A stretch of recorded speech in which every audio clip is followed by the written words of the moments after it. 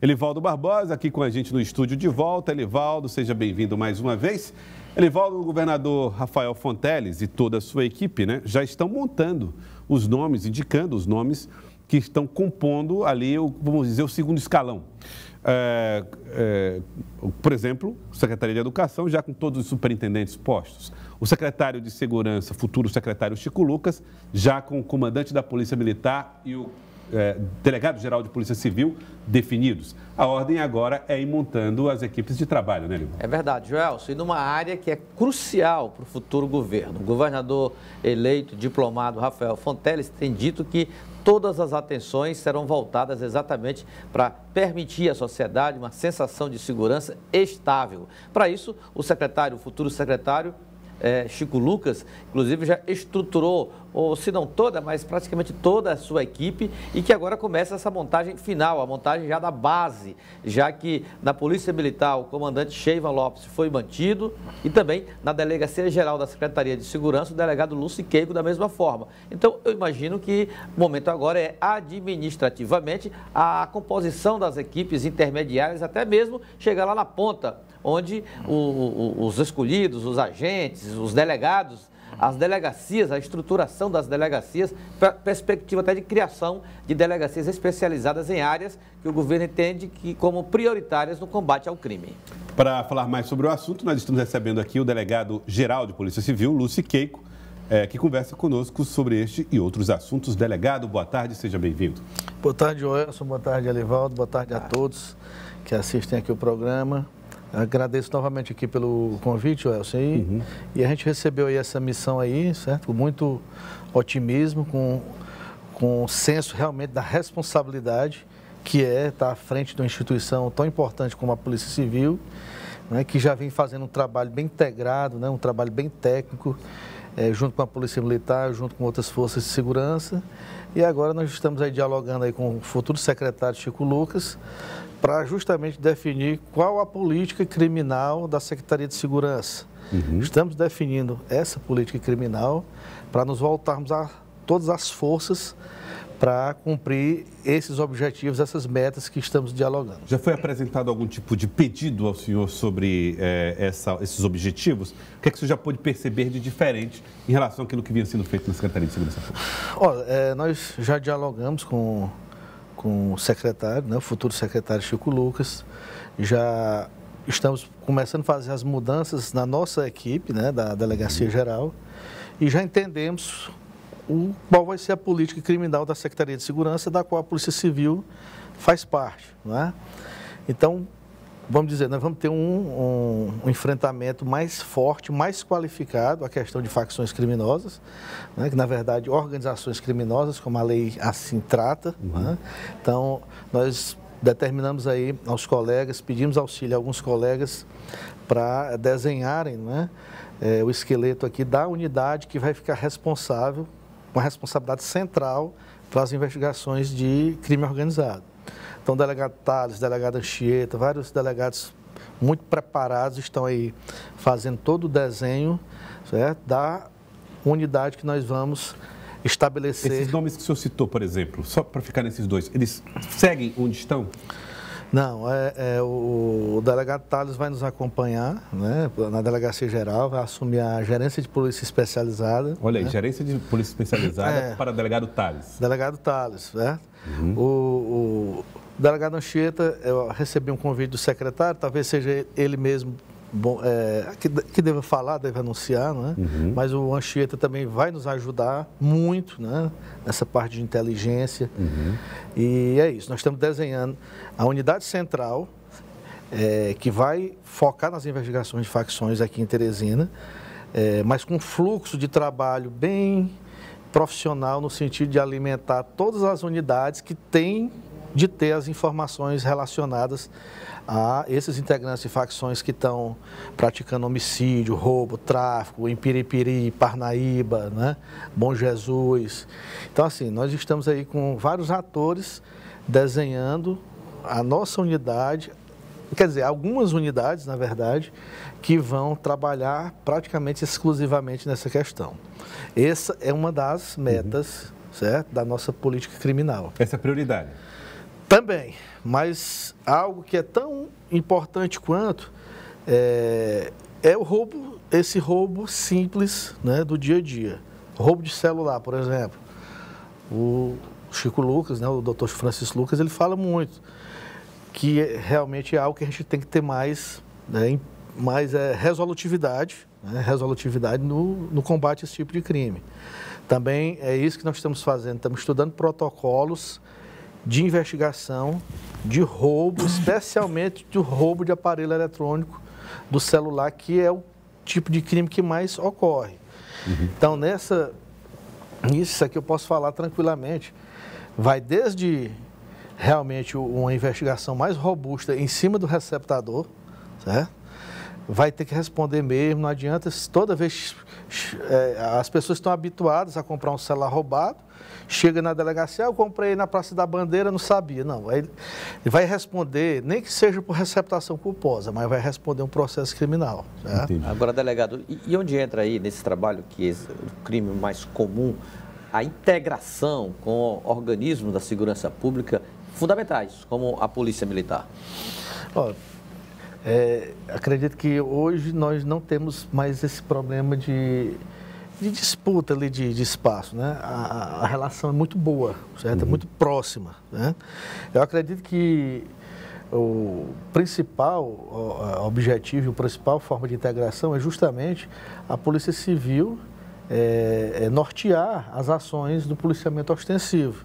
Nós temos mais esses dados mais qualificados no boletim de ocorrência, uhum. do dia, o horário, o tipo de crime, né?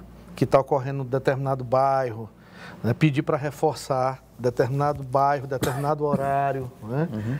E, e também na questão do, do, do, cumprimento de mandados, né, que a Polícia Militar já nos auxilia muito. Uhum. A, aproveitar até a, agradecer aqui também uma parceria que já foi feita aqui com o comandante-geral, o, o Coronel Sheiva, que a diretoria de inteligência da Polícia Militar nos auxilia muito, certo? Dando informações que essas informações são checadas, são transformadas em relatório. Nós pedimos busca e temos conseguido apreender armas de fogo, conseguido cumprir mandatos de prisão de, de foragidos. Uhum. Então, Elivaldo, hoje, hoje é assim, você pode estreitar mais ainda, mas há uma boa relação é, entre as instituições. Delegado, é, aproveitando aqui a oportunidade, o CidadeVerde.com conversou com o delegado Bareta, que é o delegado do DHPP, que falou o seguinte: no final de semana foram sete homicídios. E ele disse o seguinte: vou preparar um relatório que vou entregar para o delegado-geral Luciqueico e gostaria de contar com o apoio da Polícia Militar no, no, no melhor eh, colocação dos policiais, nas manchas de crime. Elivaldo Barbosa, inclusive, ouviu hoje o, de, o comandante da Polícia Militar a respeito dessa declaração do delegado Bareta ao cidadeverde.com, É verdade, Joelson. Conversamos com, com o comandante Sheila Lopes, ele participou de uma solenidade hoje no quartel-geral do comando, é, do o quartel do Comando-Geral da Polícia Militar, e ele fez referência à avaliação feita, ou à declaração dada ao cidadeverde.com pelo delegado Bareta. E ele foi enfático ao afirmar que o problema não está na Polícia Militar. Vamos acompanhar. O delegado é um parceiro, é um cidadão altamente competente, à frente de uma delegacia, uma das mais importantes, sem querer desmerecer as demais. Mas eu vou apostar na distorção do que ele falou. Nós temos um, um trabalho muito integrado com o DHPP e com a nossa Polícia Militar. Pelo contrário, nunca se prendeu tanto e nunca se preveniu tanto crime. Os números estão aí. A questão da, da, da dessa, desse relatório do delegado Bareta vai nos ajudar, porque como ele está investigando o crime de homicídio, ele sabe já, já referenciar o ponto onde aconteceu o crime. E nós já temos esse trabalho. Nós já temos esse trabalho. Os locais de crime já são catalogados pela Polícia Militar e ali é uma sobreposição.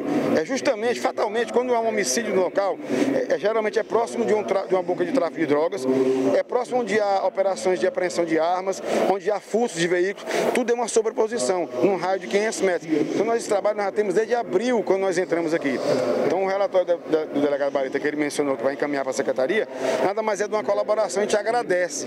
Nós precisamos também que as questões da, da, dos inquéritos venham a ser mais, mais apuradas pela Justiça e apoie o DHPP na agilidade justamente dos mandados de prisão, de busca e apreensão, porque nós precisamos que essas pessoas permaneçam presas.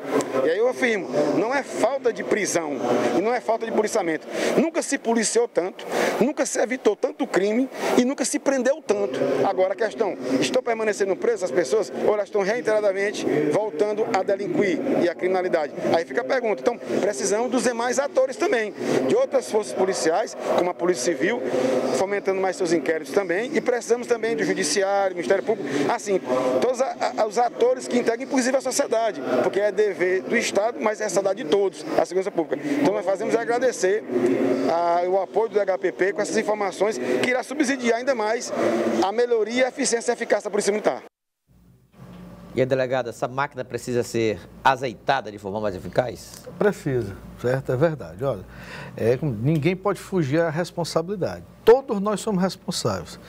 A Polícia Civil ela pode melhorar muito ainda, a Polícia Militar também, Poder Judiciário, o Ministério Público.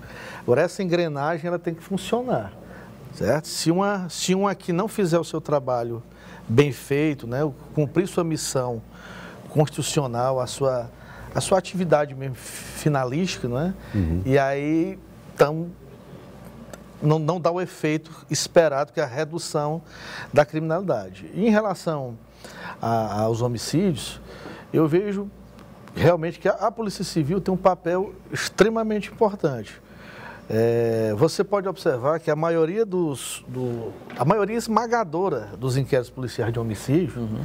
eles iniciam o quê? Por inquérito por portaria. Não é um crime fácil do policiamento ostensivo evitar ou prender em flagrante logo após. Você vê que são poucas prisões em flagrante por crime de homicídio. Isso não é crítica, não, é, é porque eu sei que é difícil. É assim. Então, o que, é que acontece? Então, geralmente, ocorre o fato, se instaura um inquérito, faz-se uma investigação qualificada, representa-se pela prisão, né? e aí, aí onde tem que acontecer que ele realmente fique preso, aquele indivíduo identificado, né, que seja julgado e não volte para estar na rua matando novamente. Né?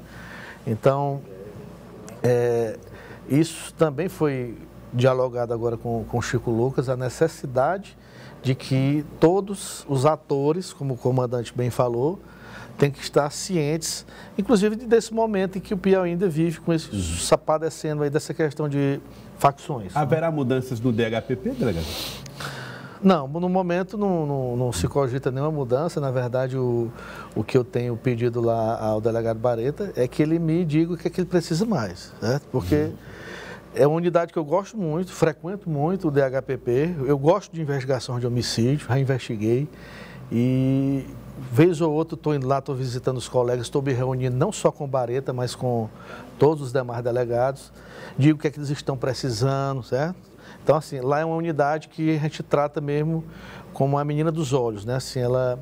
Até pelo excesso de demanda. É, ela é muito importante. E eu acredito que a, o DHPP, é, as investigações de homicídio, elas vão ter um auxílio muito grande com essa investigação mais qualificada em torno das facções, uhum. certo? Então, é, por, por último, vou dar um exemplo. O Greco fez uma operação há cerca de dois meses ali na região da Pedra Mole, e durante a busca e apreensão eles conseguiram elementos de prova de um homicídio, certo? Estavam investigando lá algumas pessoas por organização criminosa e ali num, num documento, num aparelho celular que é apreendido, você encontra a prova de um homicídio. Então, esse fluxo que a gente está desenhando é justamente para que as investigações cheguem uhum. nas unidades de forma mais integrada, né? O, a Polinta prendeu um, um autor é, com alguém com carro roubado e aquele carro foi utilizado no homicídio. É isso tem que ser, esse fluxo de informação tem que ser mais rápido. Né? E esse planejamento estabelece a criação de uma secretaria especializada, aliás, uma delegacia especializada nessa estratégia, delegado? O nosso objetivo é, é justamente dar uma nova roupagem ao Greco, certo? O Greco, quando foi criado é, na época do secretário Dr. Robert Hills, ele tinha, uma, ele tinha uma, um foco muito grande em crimes contra instituições financeiras, roubar banco. Uhum. E ao longo do tempo, inclusive eu tive o prazer de trabalhar lá por dois anos, E ao longo do tempo, o Piauí fez um trabalho muito forte em cima do roubo à instituição financeira. Praticamente você não ouve mais falar em roubo a banco. As quadrilhas aí perigosas é, é, foram presas, né? integrantes aí bem conhecidos por roubo em todo o território nacional, tiveram indiciamento aqui no Piauí, tiveram prisões decretadas, fomos prender indivíduos criminosos lá na Paraíba, indivíduos perigosos lá na Paraíba. Então, hoje é, nós estamos pensando em mudar esse viés, transformar o Greco num departamento com unidades específicas dentro do Greco, uhum. né? justamente para adequar a questão de, de enfrentamento a facções, inclusive com mais equipes. Possibilidade né? de descentralização? O, tem, o governador tem, falou sobre isso tem. na campanha. Pois é, a decentral... aqui, aqui em Teresina, nós não, não precisa você colocar, abrir prédios em bairros. Isso é infrutífero, porque você vai gastar com policial plantonista. Uhum. Você vai perder mão de obra. Aliás, isso está tá enfraquecendo, por exemplo, as delegacias de distritos. A gente tem visto cada vez mais a polícia investindo na, numa delegacia especializada, no combate a um crime específico. As delegacias tendem a desaparecer no formato que a gente conhece, mais é, cartorial?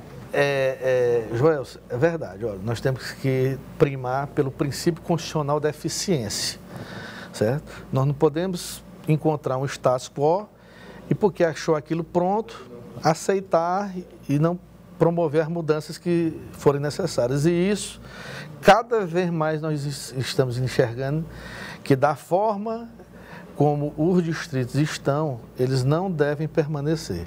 As delegacias distritais, certo? Então nós temos que remodelar essa forma de atuação das delegacias. É, isso aí já foi pensado, já foi debatido inúmeras vezes, né? e isso também é pauta que está sendo discutida aí com o próximo secretário de Segurança. Então, se eu te disser agora, vai ser assim, hoje eu não vou lhe afirmar categoricamente, porque nós temos alguns detalhes para conversar, com o secretário, inclusive talvez até com associações de moradores. Mas eu lhe digo, do formato que está, não vai ficar. Isso demanda recurso mudança. de pessoal, delegado? Na verdade, não demanda muito reforço policial. É mais uma decisão administrativa. Uhum. É uma decisão administrativa de certo? É, é, focar mais, pelo menos a visão inicial que eu tenho, em delegacias seccionais, tal como funciona o DHPP, tal como funciona a Polinter. Né? Por exemplo, se você for no DHPP, que eu acho que ninguém tem dúvida da, da, da excelência de investigação, do grau de resolutividade, imagina como era antes quando toda a delegacia de bairro investigava homicídio. Sim. Não tinha protocolo, não tinha nada. O índice de elucidação era bem baixo. Né? Então você vai no DHPP, tem o coordenador, mas lá tem as delegacias dentro do departamento. Tem a delegacia da Zona Sul, da Zona Norte. Né? Tem a, tem, na Paulinter funciona do mesmo jeito. Né? Então hoje, se você for observar, a Polícia Civil ela tem de um quarto a um terço do efetivo da Polícia Militar. Acredito mais ou menos por aí. Uhum. E nós temos mais unidades do que a Polícia Militar. Então, então, assim, eu acho que não houve um estudo científico mesmo, de análise de dados, em ficar criando unidades. Uhum. Porque você desperdiça mão de obra. Uhum. É aquela coisa, você faz. É melhor ter cinco unidades funcionando a todo vapor ou dez funcionando capenga entendeu? Então a otimização de pessoal também pode ser... Otimização de pessoal, certo? Então, assim, e vamos analisar aí outros serviços que a polícia também pode prestar, é, é, serviços sociais nos bairros, né? É, é outra, outra coisa que a gente está estudando, né? A, a, o, o secretário tem interesse em investir muito na questão da polícia comunitária, é, é algo que é bom, certo? Ah, se você for olhar o trabalho aqui que, que é feito pela Academia de Polícia Civil, né, pelo delegado Adolfo, ele conseguiu é, arregimentar muitas pessoas que frequentam a academia de polícia, pra, começaram a praticar artes marciais, futebol, até talentos foram descobertos lá. Uma garota lá foi até para um pan-americano aí. Né? Assim, então, ele, a, a polícia comunitária também é um viés de justamente dar uma opção para o jovem sair dessa criminalidade. Eu quero agradecer, delegado-geral Luci Keiko. Muito obrigado pela participação aqui no Jornal do Piauí de hoje. Obrigado a você, Joás, por, por mais essa oportunidade. aqui o Alivaldo, olha, é, dizer para a população que nós temos aí, é, estamos com todo o gás, com todo entusiasmo para melhorar muito aí a segurança pública. E deixar esse recado que o nosso secretário está preocupado não só com essa questão de, de, de, facção, essa questão do roubo do dia a dia, né, principalmente esse roubo de celular. Com fé em Deus, nós vamos dar uma resposta mais efetiva.